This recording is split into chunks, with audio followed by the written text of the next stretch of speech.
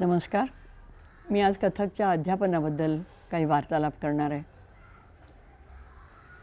कथकचं काय किंवा कुठल्याही नृत्याचं काय मूलभूत शिक्षण देणं म्हणजे काय तशी सोपी गोष्ट नाही. कारण नृत्याचं साधन हेच मुळी मुख्य मानवी देह हे आहे. तेव्हा त्याच्या मुख्य अवयवांचं आणि त्यावर अवलंबून असणाऱ्या छोट्या छोट्या अवयवांचं एकत्रित संबंधित किंवा स्व स्वतंत्र असं संचलन करणं काही सोपी गोष्ट नाही. शिवाय त्याच्याबरोबर येणारा ताललय त्याच्यामध्ये वापरलं जाणारं संगीत साहित्य इत्यादींचा अभ्यास ही गोष्ट अडचणींची आणखी वेगळीच. ती अनेक आव्हानं सर्वांच्या पुढे निर्माण करते जसे विद्यार्थ्यांच्या समोर तसं शिक्षकांच्या समोरसुद्धा असं सारं म्हटलं तरी प्राथमिक अभ्यास विद्यार्थ्यांच्या मनावर दडपण न येऊ देता कसा करून घ्यावा? याबद्दल सर्वच शिक्षकांनी तसा विचार केलेला असतो आणि काही एक सिस्टम ठरवलेली असते. ती प्रत्येक वेळेला वेगवेगळ्या घराणी जी नृत्यामध्ये असतात त्या घराण्यांच्या शिस्तीवर अवलंबून असते. तशी कथकमध्ये प्रसिद्ध अशी तीन घराणी आहेत. एक लखनौ एक जयपूर आणि एक बनारस. त्यांच्याबद्दल मी काही बोलू इच्छिते.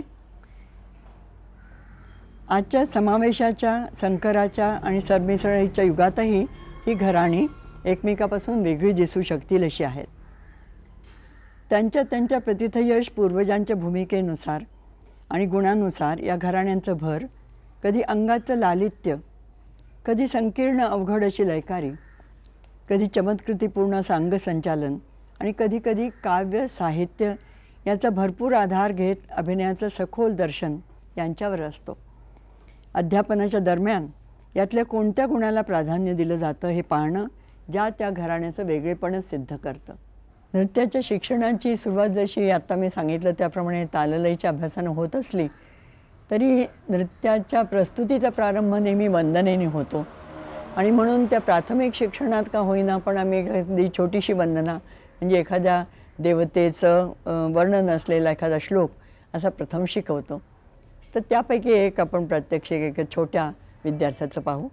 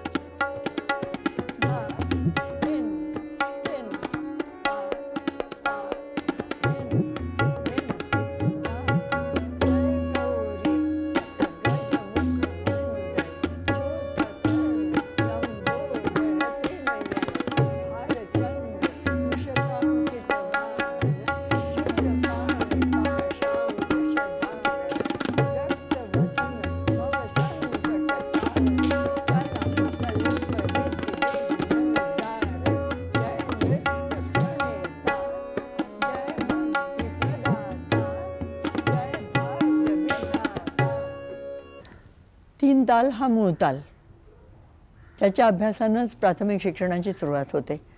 कारण तो समसमान खंडवाला ताल आहे. चार चार मात्राचे त्याचे खंड असतात. समजायला तो सोपा त्याचा ठेकाही ध्यानात सहज राहावा असा सोपा. आणि त्याच्यामध्ये छोट्या बंदिशी मोठ्या बंदिशी सोप्या बंदिशी अवघड बंदिशी सारंच काही निभावून नेण्याची ताकद. त्यामुळे तीन तालांनी सुरुवात होते.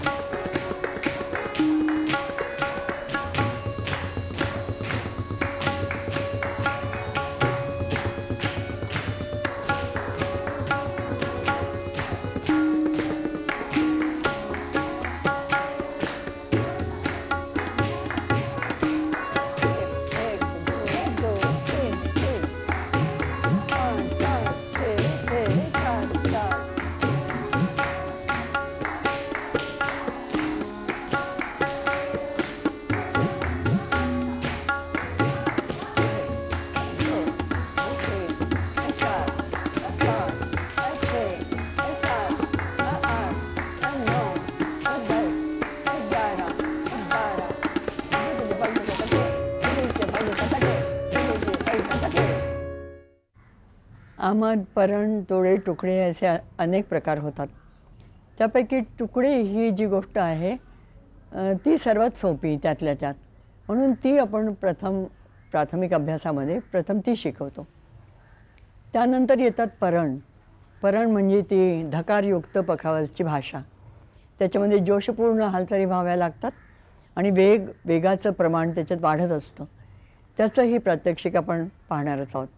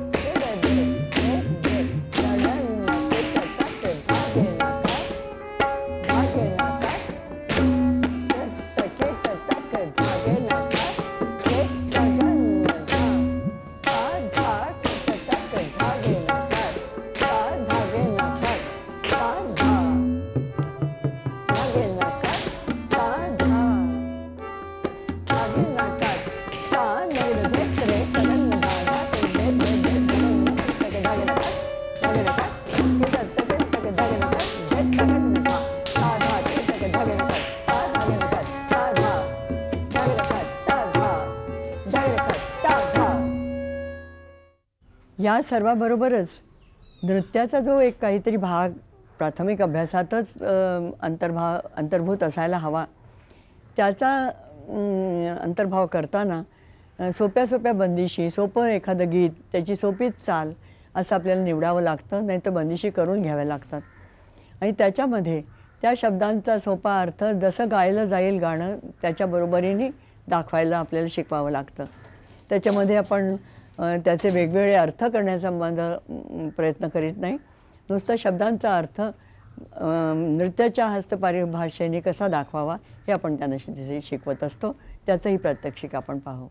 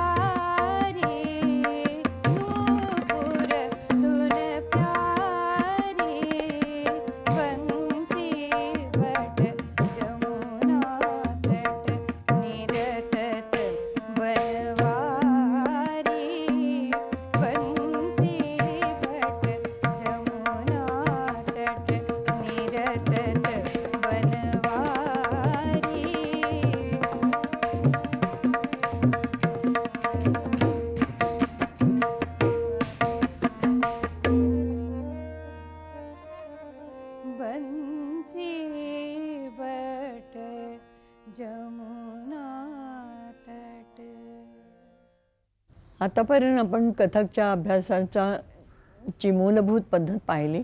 त्याच्यामध्ये आपण दोन स्तरावरच्या विद्यार्थ्यांचं नृत्य पाहिलं. त्याच्यापैकी एक स्तर ज्यांनी गाठला होता त्यांचं साधारण दोन तीन वर्षापर्यंत शिक्षण झालेलं असतं. दुसऱ्या स्तरावरच्या मुलींचं चार पाच वर्षापर्यंत शिक्षण झालेलं असतं. सर्व मिळून कथकच्या अध्यापनाच्या काळाला शिक्षणाच्या काळाला जवळजवळ दहा पंधरा वर्ष लागतात जशी आपल्याकडे ग्रॅज्युएशनला लागतात. परंतु त्याचा सर्वाचा विचार आपण आणखी खोलात जाऊन सुद्धा नंतर करणार आहोत. आज एवढंच. इथेच मी समाप्ती करते. आणि पुढच्या वेळेला आपण पुढल्या आठवड्यात भेटू.